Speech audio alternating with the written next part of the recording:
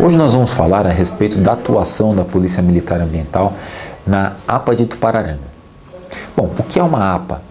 A APA é uma área de proteção ambiental.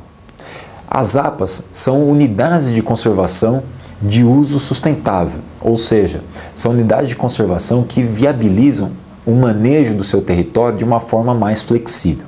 A APA de Tupararanga é composta pelos municípios de Ibiúna, São Roque, Piedade, Mairinque, Alumínio, Votorantim, além de Vargem Grande Paulista e Cotia. A APA de Tupararanga ela foi criada pela Lei Estadual 10.100 de 1998, alterada pela Lei Estadual também 11.579 de 2003. Muito bem, o policiamento ambiental ele faz uma fiscalização intensa dentro do território da APA. E um uma das ferramentas que a gente dispõe para poder fazer essa fiscalização é o apoio de aeronaves. Em 2009, é, esse comandante de pelotão, juntamente com a gestora da APA de Tupararanga, que é a Sandra Bel, e o, na época, diretor da, do CTRF 8, que é o órgão da CFA local, José Murilo Martins Nano, fizemos um sobrevoo no território da APA e identificamos diversos pontos de degradação ambiental dentro do território.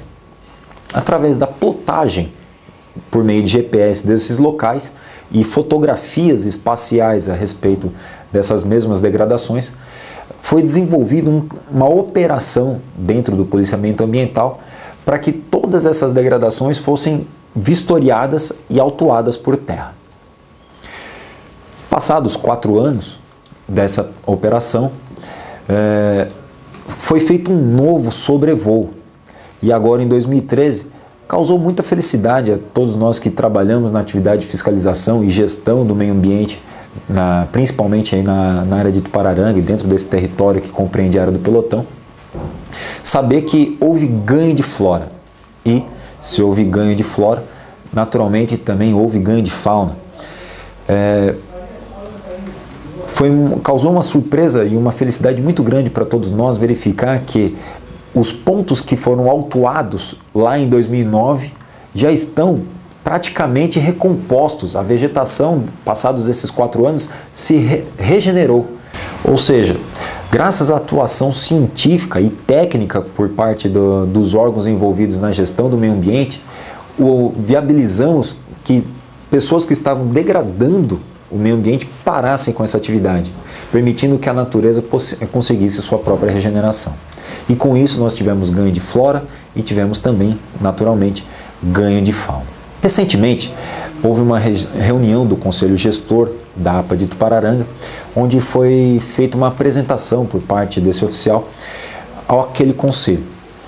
E foi interessante mostrar imagens de como algumas áreas estavam em 2009 e como elas estão hoje em 2013. A estatística utilizada para demonstrar a atuação da, do policiamento ambiental no território da APA de Tupararanga foi comparando a estatística desse território com a estatística é, de Sorocaba, da atuação do policiamento ambiental no município de Sorocaba. E o início dessa comparação se estabelece através da área territorial e população desses dois territórios. O, só a título de exemplo, Ibiúna, que é um município de, que possui a maior extensão territorial incerta no território da APA, ele possui 1.060 quilômetros quadrados, ao passo que Sorocaba possui 449 metros quadrados. Todavia, quando a gente fala de população, Ibiúna possui, de acordo com o censo de 2010, 69.675 habitantes. E Sorocaba, de acordo com esse mesmo censo, 570.434. Logo se percebe então a discrepância entre território e população quando comparamos esses dois locais.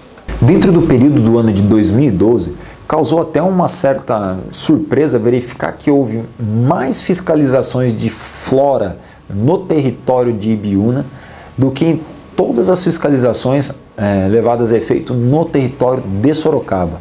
De forma que, mesmo sendo Sorocaba o município sede do pelotão e com uma, uma população bastante significativa em relação ao de Biúna, ainda assim houve mais fiscalizações de flora dentro do município de Biúna do que mesmo em Sorocaba o que demonstra uma atuação significativa do policiamento ambiental dentro desse território. A título de curiosidade, em 2012 foram feitas 155 é, autuações, ou seja, pessoas que cometeram degradações ambientais dentro do território da APA de Tupararanga. Ao passo que em Sorocaba, um município já bastante urbanizado, foram lavradas apenas 56 autuações. Outra estatística bastante interessante foi a de autos de infração.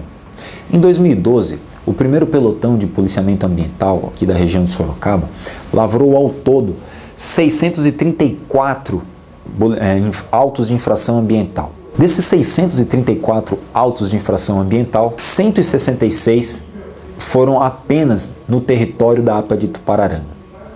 A título de comparação, como já foi dito, 80 ocorreram dentro do território de Sorocaba. É importante lembrar ao telespectador que esses 634 autos de infração que foram lavrados são correspondentes à fiscalização ocorrida em 25 municípios, o que demonstra uma parcela significativa de, de autos de infração lavrados em, no território da APA, demonstrando uma grande efetividade de fiscalização por parte do policiamento ambiental naquele território. É motivo de satisfação para nós que fazemos a gestão de fiscalização dentro de todo esse território composto por 25 municípios, verificar a efetividade da atuação da Polícia Militar Ambiental dentro desse território tão importante que é a APA de Tupararanga.